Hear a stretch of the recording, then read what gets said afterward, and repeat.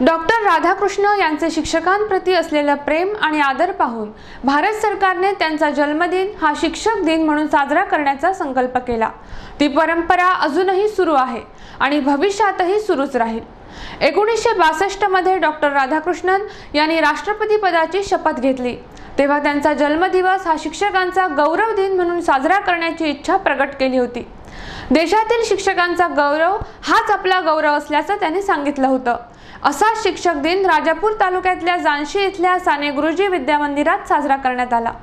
राजापूर तालुक्यातल्या जानशी इथल्या साने गुरुजी विद्यामंदिर या शाळेत डॉक्टर सर्वपल्ली राधाकृष्णन यांचा जयंती सोहळा आणि शिक्षक दिन मोठ्या उत्साहात साजरा करण्यात आला. सकाळच्या सत्रात हा शिक्षक दिन साजरा झाला.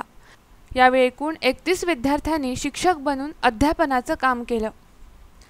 कौस्तुभ जैतापकर या विद्यार्थ्याने मुख्याध्यापक म्हणून तर सारिका दांडेकर हिनं पर्यवेक्षक म्हणून काम पाहिलं. लिपिक म्हणून मोहिनी मयेकर तर शिपाई म्हणून अजित बावकर आणि साईराज पावसकर यांनी काम पाहिलं.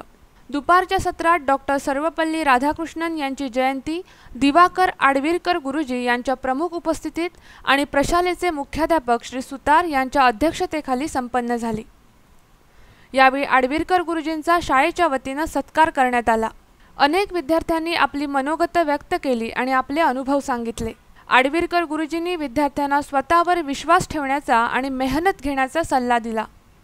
तर मुख्याध्यापक श्री सुतार यांनी कार्यक्रम यशस्वीपणे पार पाडल्याबद्दल सर्वांचं अभिनंदन केलं. शांभवी सुतार हिने कार्यक्रमाचं सूत्रसंचालन केलं तर समारोप कुमारी जान्हवी काजवे हिने केला. या कार्यक्रमाचं कौतुक शाळेतील सर्व शिक्षकांनी केलं. सचिन नारकर कोकण नाऊ जैतापूर.